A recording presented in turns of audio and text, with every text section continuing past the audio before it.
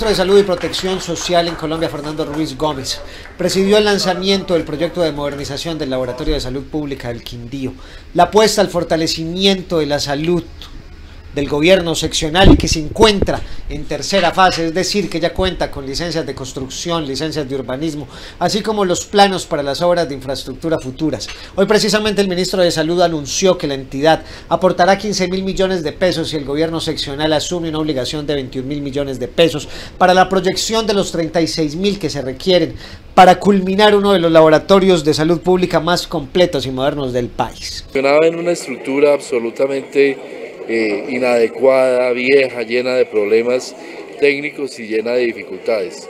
El gobernador nos motivó a visitar hace unos meses esa, esa entidad, vimos la situación y decidimos entre los dos, muy, muy con el esfuerzo del señor gobernador, de avanzar en estructurar un proyecto y hoy hacemos una realidad, un proyecto que cuesta 35 mil millones de pesos, que va a ser con seguridad el laboratorio de salud pública de referencia de todo el eje cafetero y seguramente del norte del valle.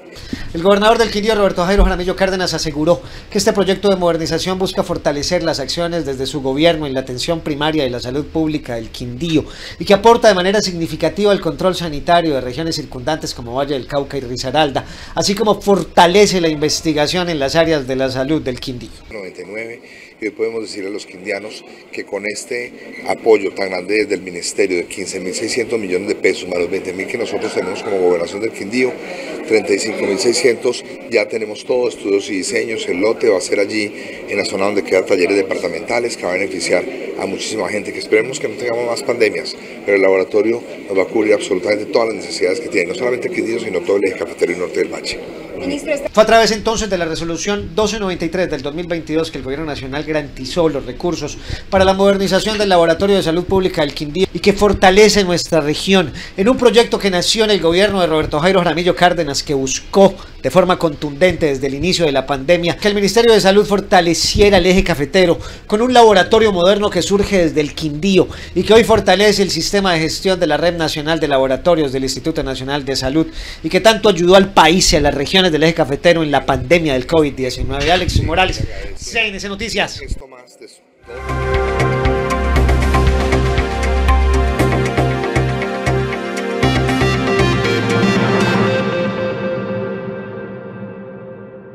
garantizar a los quindianos calidad de vida en, el, en todo lo que son pruebas para, para calidad del agua, calidad de los alimentos, calidad del aire, eh, todas las pruebas que tienen que ver con bacteriología, virología y, biología molecular. Son aspectos que dan gracias a la calidad de vida. Yo creo que además le quiero agradecer al señor gobernador todo su apoyo. Ya estoy a tres días de irme, pero quiero agradecer todo su apoyo porque ha sido un gobernador que nos ha apoyado en cada una de las actividades del Ministerio de Salud. Es un gobernador que tiene la salud muy adentro, no solo como gobernador, sino en su historia personal y de vida, y eso es algo que, que, nos ha ayudado a impulsar en el país la política de envejecimiento y vejez, la política de salud mental, acciones que definitivamente son muy importantes para toda manera que querido gobernador, muchas gracias. A usted, y gracias por ser esa persona tan preocupada de su comunidad, tan cercana a la comunidad y, tan, y con esa sensibilidad tan especial por la salud de la población. Gracias, ministro. Usted sabe que siempre será bienvenido.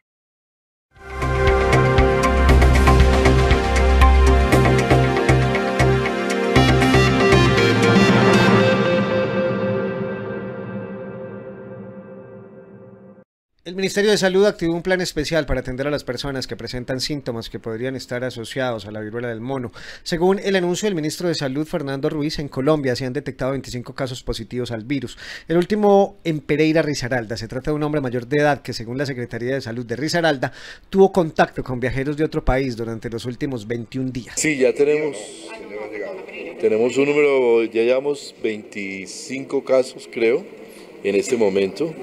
Eh, ha venido incrementándose y aquí la invitación es a, cuidarnos y a entre todos mantener las mejores condiciones de, salud y de, y de protección. Conductas de riesgo, recordemos que esta viruela se contagia fundamentalmente por los fluidos por contagio directo con las, con las, con las eh, pústulas que, que aparecen en la piel y también por contacto sexual. De manera que es muy importante no tomar conductas de riesgo. Tú me decías, ¿cuánto? 21 casos. Al actualizado, no, actualizado ya llevamos más de 21 casos, llevamos 25 casos según el reporte que tiene hoy la, hoy la, la, la, el Instituto Nacional de Salud. Sin embargo, según el ministro, el Instituto Nacional de Salud en la actualidad realiza los respectivos análisis de pacientes sospechosos a dicha patología y que han sido puestos en aislamiento. Aprovechó su visita al Quindío el ministro de la Salud para hacer recomendaciones a los ciudadanos sobre el COVID-19.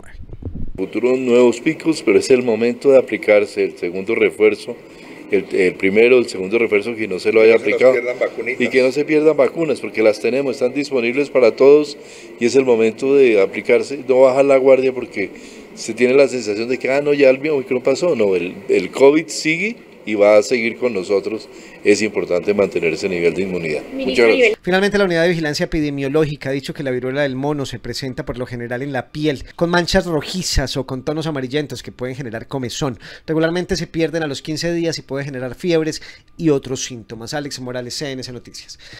Bueno, lo dijimos y lo cumplimos. Ya las dobles calzadas son un hecho. Gracias, Juan Esteban. Estamos a pocos, a pocos días de que se nos vaya este hombre al cual los quindianos le quedaremos agradecidos eternamente por todo lo que ha hecho por el departamento del Quindío, por este corazón de Colombia. Juan, gracias a ti, al presidente, a nombre de todos los quindianos y seguramente a todos los que nos van a visitar en este territorio de paz, corazón de Colombia. Gobernador, muchas gracias. Ese trabajo conjunto que realizó usted con el presidente de la República, hoy vemos su fruto. Recuerdo cuando usted estaba iniciando el gobierno, que se unió con el gobernador de Risaralda y el gobernador de Caldas, en donde cada uno pidió su sueño. El gobernador de Caldas hablando del aeropuerto del café, el gobernador de Risaralda hablando de su hospital de cuarto nivel y usted hablando de las dobles calzadas del Quindío. Y estamos acá parados en esta obra en plena construcción. Ese sueño es una realidad. Gracias a ese trabajo conjunto. Al Calarcá, Armenia, Montenegro, Quimbaya, Cartago, más de... Nos lo prometió y nos lo cumplió. Juan.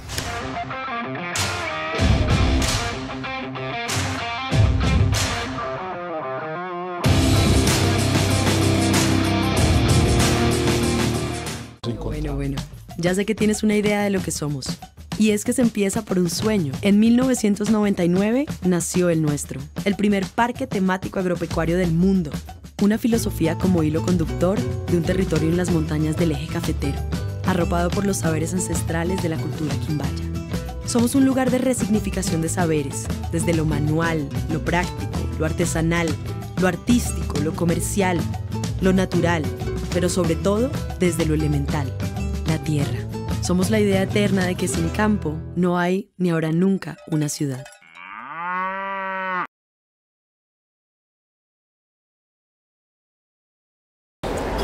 Mariana, venga. Señor, Mariana, ya sabe qué hora es. Vamos a trabajar, mi amor. Ya la hora que es. Vea, espero que nos vaya mejor que ayer. Recuerde que su mamá está enferma, necesita los medicamentos, o yo. Aquí la espero, pues, juiciosita. gracias, don Rodrigo. Bueno, pues.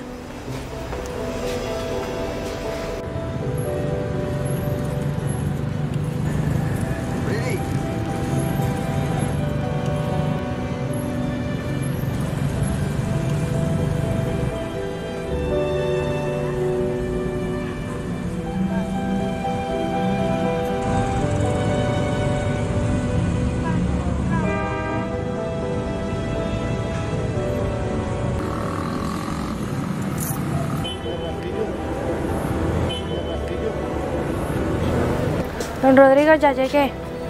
Hola, Mariana, ¿cómo estás? ¿Cómo te fue? Oh, muy bien, gracias a Dios. Se nos fue muy bien. Vamos a ver. Uy, qué bien, te fue muy bien, Mariana. Eso es para mí y esto para ti. ¿Y lo de mi mamá? Vea, Mariana, aquí se hace lo que yo diga, yo. Si usted no quiere que le pase nada a su mamá y a su familia, a ninguno, calladita, mi amor, o yo. Mañana la espero acá, con la misma disposición, o yo. Que le vaya muy bien. Esta es una campaña por la lucha en contra de la trata de personas de la Secretaría de Gobierno y Convivencia de la Alcaldía de Armenia, que es para todos.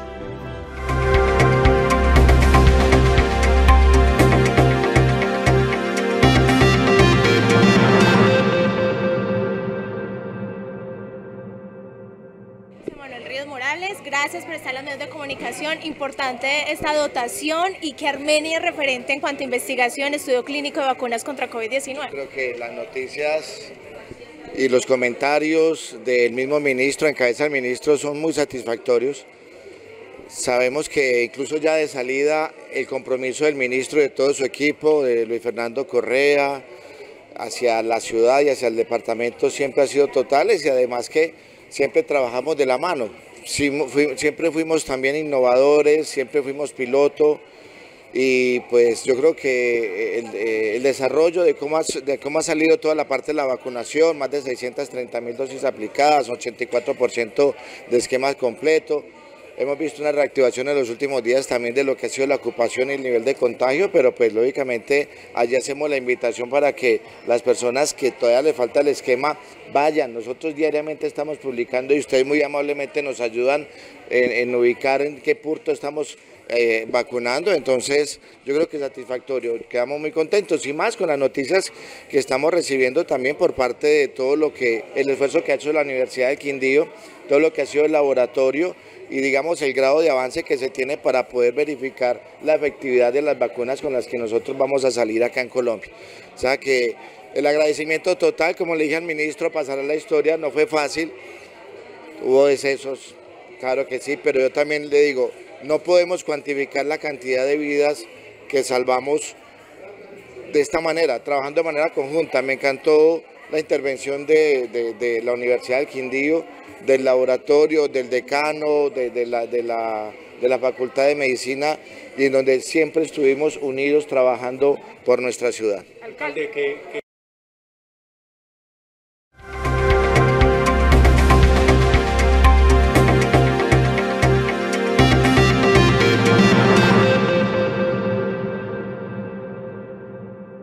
Pese a que los 32 alcaldes y alcaldesas de las ciudades capitales del país y más de 900 mandatarios de los territorios en Colombia asistieron a un evento organizado por la Asociación Colombiana de Ciudades Capitales, Capitales, el presidente electo Gustavo Petro no asistió por temas de salud. Eh, desafortunadamente parecía en su momento que el, el presidente estaba contagiado, tenía malestar, entonces no pudo asistir. El día de ayer, el día de ayer hicimos con la Federación Nacional de Municipios más de 900 alcaldes estuvimos allí, pues desafortunadamente se le presentó un inconveniente al presidente y no pudo asistir. Pues para ciudades como Armenia, pues que nosotros estamos a media hora en avión, pues lógicamente no tiene tanta, no tiene tanto problema, pero pues allí pues se presentó una inconformidad por algunos alcaldes donde literalmente viajaron días para poder escuchar las propuestas del presidente, que básicamente eso era como ese primer acercamiento que es tan importante, pero uno comprende la agenda y esperamos pues que muy pronto podamos nosotros eh, hablar directamente con él. En la agenda que se llevó a cabo en Bogotá se firmó una propuesta conjunta denominada La clave de los territorios, que recoge las principales iniciativas y desafíos en materia de reactivación económica, descentralización, movilidad y sistemas de transporte público, así como seguridad y convivencia ciudadana, educación, infraestructura, salud, empleo y medio ambiente. Alcaldes de todo el país y pues allí hay unas, hay unas peticiones que son generales, pues yo sí tengo unas particulares. La primera que, con la que nosotros, al menos que siempre he preparado decirles la preocupación que tenemos para los cierres económicos de la propuesta financiera, de la modelación financiera, lo que es el sistema estratégico de transporte público. El transporte público en estos esquemas en ninguna parte del país es sostenible, en ninguna parte. De hecho, Transmilenio, que es uno de los más grandes, yo creo que el más grande en todo Colombia, le deben de aportar 1.4 billones de pesos anuales para, para que sea sostenible. Aquí en Armenia, nuestro sistema con la modelación que tenemos actualmente, teníamos que estar aportándole entre 8 a 15 mil millones de pesos anualmente para que sea sostenible. Y necesitamos cerrar este sistema. Los alcaldes y alcaldesas de Colombia estuvieron a la espera para discutir sus propuestas, a las inquietudes del presidente entrante de cara al nuevo gobierno que se posiciona el 7 de agosto.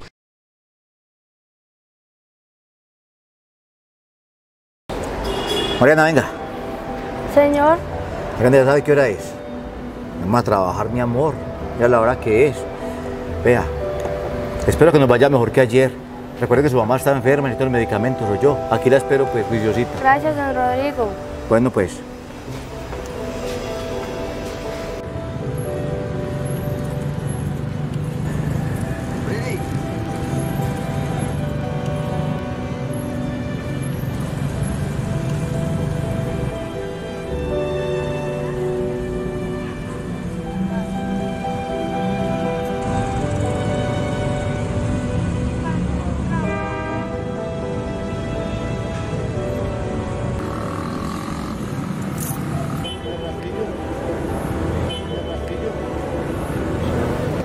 Rodrigo, ya llegué. Hola Mariana, ¿cómo estás? ¿Cómo te fue? Oh, muy bien, gracias a Dios. Se nos fue muy bien. Vamos a ver. Uy, qué bien, te fue muy bien, Mariana. Eso es para mí y esto para ti. ¿Y lo de mi mamá? Vea, Mariana, aquí se hace lo que yo diga, yo. Si usted no quiere que le pase nada a su mamá y a su familia, a ninguno, calladita, mi amor, o yo. Mañana la espero acá, con la misma disposición, o yo. Que le vaya muy bien. Esta es una campaña por la lucha en contra de la trata de personas de la Secretaría de Gobierno y Convivencia de la Alcaldía de Armenia, que es para todos.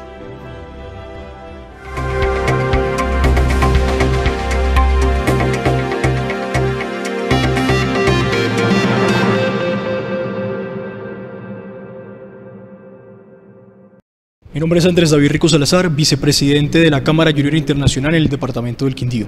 Estamos desarrollando la primera cumbre de juventudes en el departamento, la Cumbre de Alianzas por las Juventudes, en donde hemos aglutinado, por supuesto, la participación de organizaciones no gubernamentales, eh, entidades territoriales como la alcaldía, la gobernación, con la intención precisamente de hablar de temas de coyuntura trascendentales que permitan de alguna manera generar acuerdos en estos espacios. Además, también tenemos la participación de otras organizaciones internacionales internacional- internacionales y nacionales como la Federación Nacional de Estudiantes de Economía, en donde lo que intentamos tener es un cúmulo de instituciones propiamente trabajando por juventud en distintos puntos fundamentales. En este caso, la Consejería Municipal de Juventud entró también en este proceso y es un actor fundamental dentro de esta organización que la JCI ha hecho el llamado y vamos a hablar de temas precisamente eh, normativos eh, en concordancia precisamente con lo que ellos han venido desarrollando. Vamos a tener ponentes nacionales y en esa misma instancia lo que queremos es llegar a absolutamente todos los jóvenes, brindar la posibilidad de que tengan eh, este espacio de escucha, de habla y de socialización de temas de juventud. En adición a eso vamos a tener un espacio cultural, esto se va a desarrollar el 20 de agosto, muy importante, el sábado 20 de agosto en la Universidad del Quindío, en el, en el auditorio Ramírez Granada de la universidad.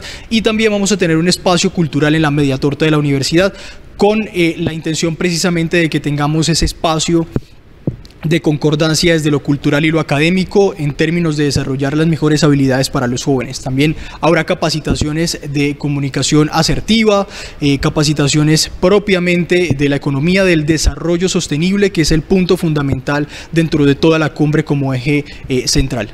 Pueden participar todos los jóvenes. También, evidentemente, en este espacio vamos a tener una feria de organizaciones que trabajan claramente con juventud, en donde, puedan, en donde podrán precisamente mostrar todo su, su eh, labor fundamentalmente. En esa misma instancia, eh, también pues queremos llegar a todos los jóvenes entre los 14 y los 28 años, eh, como lo establece la norma, para que puedan participar de él. Las fechas puntualmente son el 20 de agosto de este presente año y en adición a ello pues vamos eh, y esperamos por supuesto de la mano mm, de todas las organizaciones que los jóvenes puedan entrar a las redes sociales de la JCI Quindío, entrar a las redes de El Sena, entrar a las redes de Fenadeco, entrar a las redes de absolutamente todas las organizaciones que hacemos parte y por ese medio pueden acceder. Y por este medio podrán acceder al formulario de Google Form para que se inscriban y en esa misma instancia puedan participar en este espacio abierto para la juventud. Eh, recordamos entonces, por supuesto, el día 20 de agosto en la Universidad del Quindío, todos los jóvenes en función, en el marco de la Semana de la Juventud, el día sábado 20 trabajando por la juventud y discutiendo temas de juventud.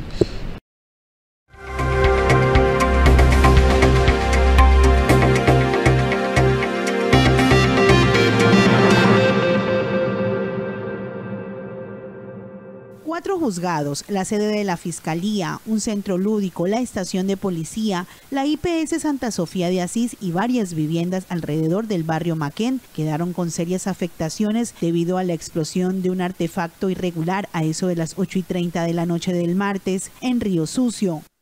pues el, apoyo pertinente en las instalaciones de la IPS Santa Sofía, ya que pues tuvo afectación de acuerdo al suceso pues acontecido en las horas de la noche.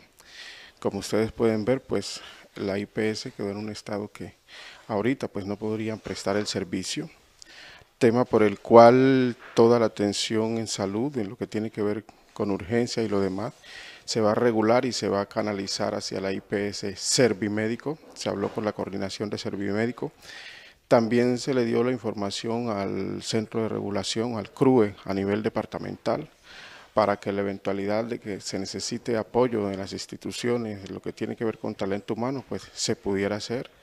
Le hemos estado haciendo seguimiento a la situación de salud desde las horas de la noche y hasta el momento esta es la situación. Ahorita pues no se va a prestar el servicio aquí en la IPS Santa Sofía hasta tanto no se organicen todos los temas logísticos y se haga pues la reconstrucción de lo que fue afectado por, por la onda expansiva. A Dios gracias pues en el municipio de Río Sucio no tenemos pérdida de vidas humanas y la información es para que la gente sepa que toda la atención en salud se vaya hacia la IPS Servimédico que queda en el barrio, en la parte arriba del pueblo, en el barrio escolar. Hasta el momento la fuerza pública no ha dado detalles de lo ocurrido. CNS Noticias y Noti Río Sucio pudieron establecer que por las inundaciones las personas que están privadas de la libertad se encuentran en condiciones inhumanas. Asimismo, las habitaciones donde se alojan los policías. Por otra parte, el alcalde de Río Sucio, en un sonido telefónico, aseguró que se adelanta un consejo extraordinario de seguridad.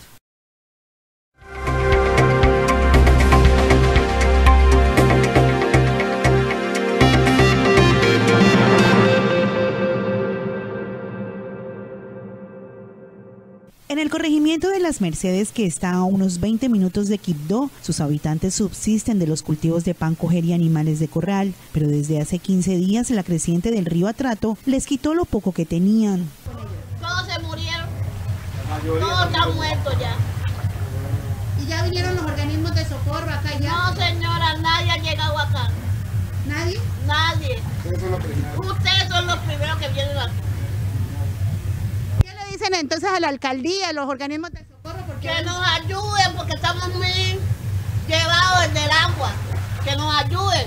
En estos momentos, imagínense cómo estamos todos estresados, motivados, porque pensábamos que este río no iba a hacer eso desde, desde está, está, así, y las cuatro todas se las han mojado, los pollos todos se los ahogaron, porque como ve de noche, todos se los ahogaron los animalitos. Están verificando cómo está en estos momentos de río.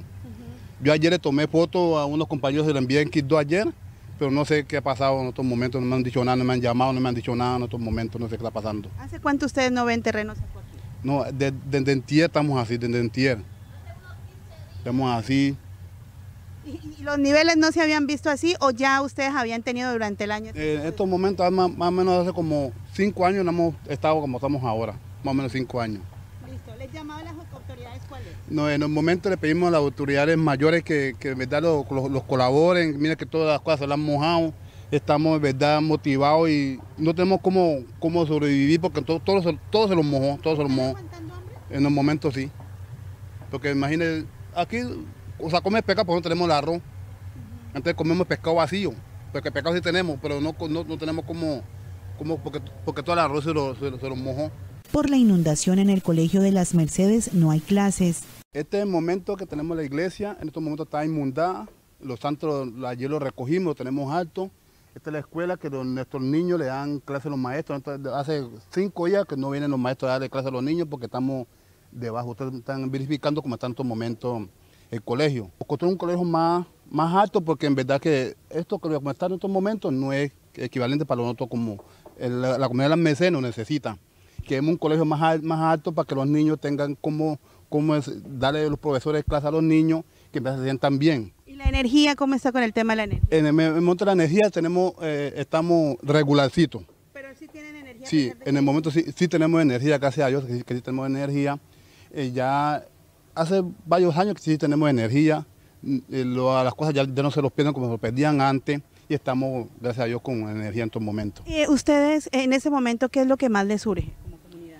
En estos momentos lo que más los motiva, a nosotros es que, primero que todo, el colegio para los niños.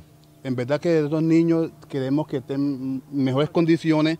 El centro de salud que lo inauguraron hace un par de años tampoco está funcionando. En el centro de salud en estos momentos está bien, bien ubicado, lo tenemos en buenas condiciones, pero no tenemos eh, materiales para, como para atender un paciente en estos momentos.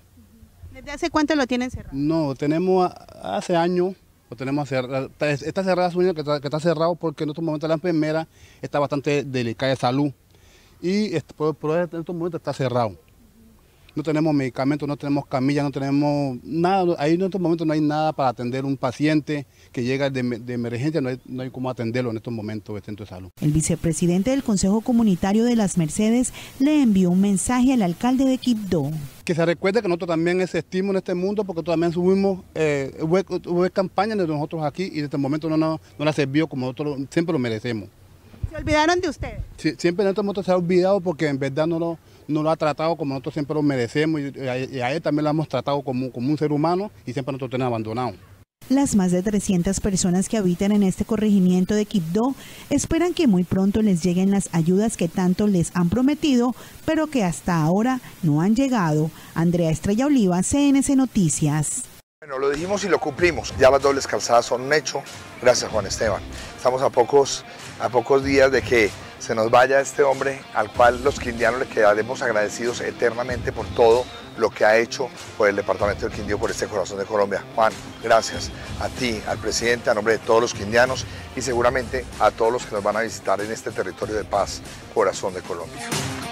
Gobernador, muchas gracias. Ese trabajo conjunto que realizó usted con el presidente de la República, hoy vemos su fruto. Recuerdo cuando usted estaba iniciando el gobierno, que se unió con el gobernador de Risaralda y el gobernador de Caldas, en donde cada uno pidió su sueño. El gobernador de Caldas hablando del aeropuerto del café, el gobernador de Risaralda hablando de su hospital de cuarto nivel y usted hablando de las dobles calzadas del Quindío. Y estamos acá parados en esta obra en plena construcción. Ese sueño es una realidad. Gracias a ese trabajo conjunto. Al Calarcá, Armenia, Montenegro, Quimbaya, Cartago, más de... Nos lo prometió y nos lo cumplió. Juan.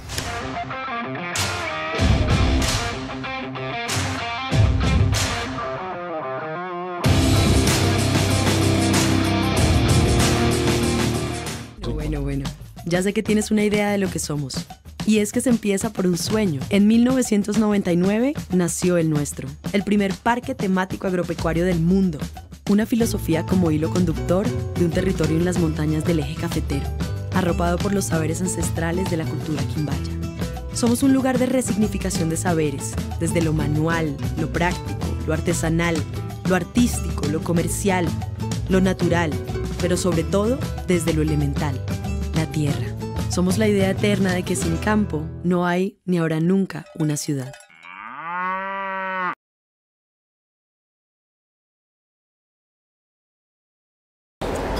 Mariana, venga. Señor, Mariana, ya sabe qué hora es. Vamos a trabajar, mi amor. Ya la hora que es. Vea, espero que nos vaya mejor que ayer. Recuerde que su mamá está enferma, necesita los medicamentos, o yo. Aquí la espero, pues, juiciosita. gracias, don Rodrigo. Bueno, pues.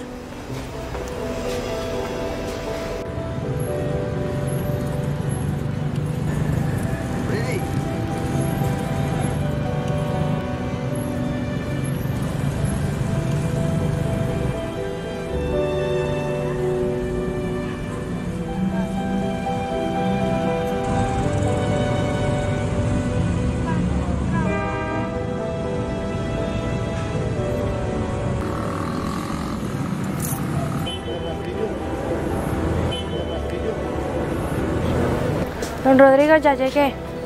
Hola, Mariana, ¿cómo estás? ¿Cómo te fue? Oh, muy bien, gracias a Dios. Se nos fue muy bien. Pues a ver. Uy, qué bien, te fue muy bien, Mariana. Eso es para mí y esto para ti. ¿Y lo de mi mamá? Vea, Mariana, aquí se hace lo que yo diga, yo. Si usted no quiere que le pase nada a su mamá y a su familia, a ninguno, calladita, mi amor, o yo. Mañana la espero acá, con la misma disposición, o yo. Que le vaya muy bien. Esta es una campaña por la lucha en contra de la trata de personas de la Secretaría de Gobierno y Convivencia de la Alcaldía de Armenia, que es para todos.